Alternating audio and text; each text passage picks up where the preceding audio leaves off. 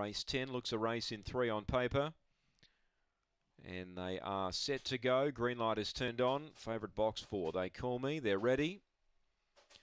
Set to run. Racing, they call me only fair away. Jimmy Peruzzi won the start, led by two. Fire Starter Lady through to second. Third placing, she's Dinkum. This favourite with some work to do. They call me, gets to the outside, then came behind the Modern Hero. Last is Joffa's Galaxy, but Jimmy Peruzzi doing it well. Coming at it now, Fire Starter Lady storming home Modern Hero over the top. Modern Hero, yes. Modern Hero from Firestarter Lady. Gee, that race changed complexion. They called me darted through late. Might be get, getting third from Joffa's Galaxy. Jimmy Peruzzi carved up, and she's Dinkum back with it. Modern Hero over the top. Pounces. Runs down Firestarter Lady, number seven.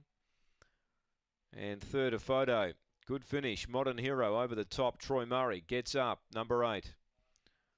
Number eight will defeat seven Firestarter Lady. Photo third.